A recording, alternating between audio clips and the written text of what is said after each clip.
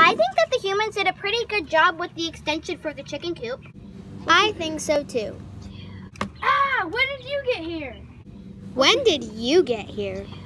Doesn't matter. All that matters is that you get in the house. And how do you plan on getting us in there? With my brain. And you're so smart because Because quails are smarter than chickens. You're a quail? Exactly. Huh? Do you want to get in the house or what? Yes, we do. Step one.